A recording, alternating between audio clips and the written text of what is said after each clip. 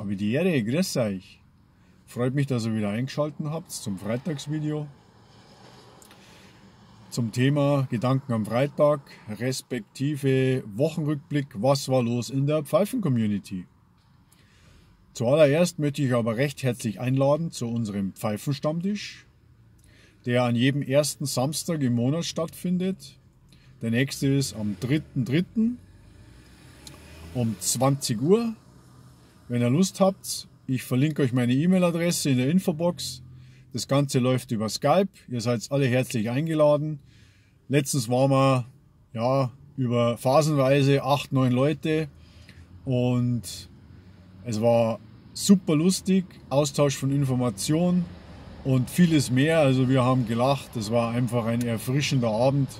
Das Ganze hat, glaube ich, sechs Stunden gedauert, soweit ich mich noch erinnern kann. Eine super Sache.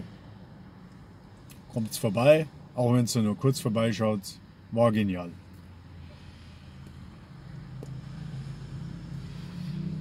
Was war los in der Pfeifen-Community?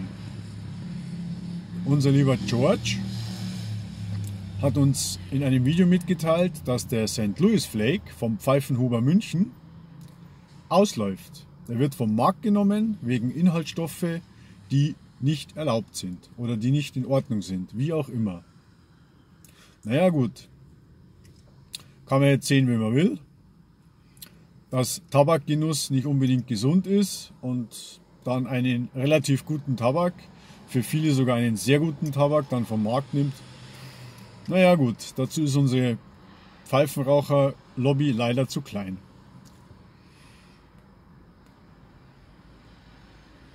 Ich habe dann da auch angerufen, weil ich mich da selber noch informieren wollte. Habe dann einen sehr, sehr netten, auch kompetenten Mitarbeiter ans Telefon bekommen, der mir gesagt hat, ja, ähm, aktuell gibt es ihn wieder. Sie haben wohl auch ähm, nochmal eine Charge nachbestellt die dann noch kommen wird, aber irgendwann wird Schluss sein. Er kann es mir aber auch nicht genau, genau sagen. Es kommt darauf an, äh, wie die Nachlieferung noch zustande kommt. Also aktuell ist er verfügbar. Ich habe mir auch die eine oder andere Dose noch gesichert, weil ich finde den auch nicht schlecht. Als nächstes der Ralf, sein Kanalname Ralf Ebe. Heute Mittag ein super Video. Ich fand es genial in, aus seiner Reihe Pfeife bauen. Ja, das war jetzt der zweite Teil. Im ersten Teil hat er den Pfeifenkopf gezeigt, wie er das macht. Und in diesem Video von heute zeigt er, wie er das Mundstück macht. Vom Acrylrolling ja, bis zur Endform. Äh, Und ich muss sagen, dieses Video, ich liebe solche Videos. Ich könnte nur solche Videos anschauen. Ich finde das super. Und wie er das macht, mit ja, relativ einfachen Mitteln, natürlich viel Arbeit dahinter.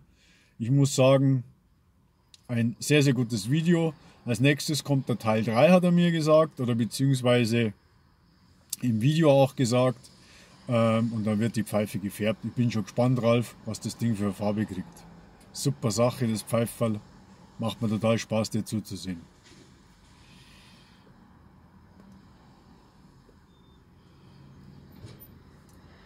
Dann unser lieber Patrick aus der Schweiz, der Patrick Rümi. Ich hoffe, ich habe den Namen richtig ausgesprochen.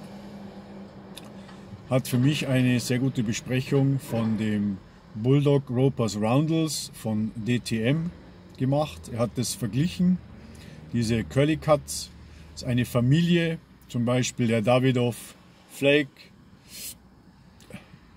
oder der Dunhill Deluxe ähm, und viele andere Tabake auch noch in diesem Curly Cut in dieser Form.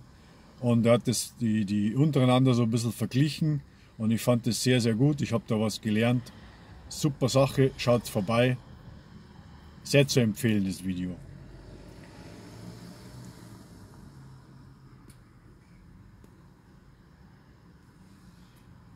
Dann hat der Daniel, der Monheimer Rauch, sein Kanalname. Und der Angelo hat heute Mittag ein Video eingestellt. Angelo Pfeifengenießer aus Bayern. Da ging es um ein Tabak-Review von dem ähm, Tabak von Faun, von dem neuen, in dieser schönen Prachtdose, den Tradition Nummer 1. Sehr fundierte Videos, ehrliche Aussagen. Genauso muss es sein. Super Sache. Wen es interessiert, wie der Tabak äh, schmeckt, schaut euch die Videos an. Angelos Pfeifengenießer aus Bayern, Daniel Monheimer Rauch. Super Sache.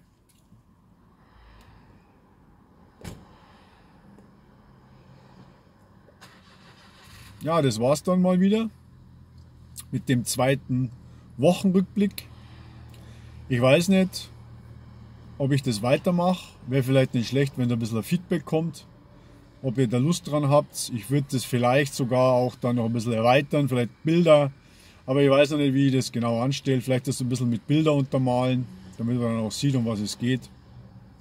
Na gut, ich wünsche euch ein schönes Wochenende. Passt auf euch auf, bleibt gesund. Servus, pfiat euch, ciao.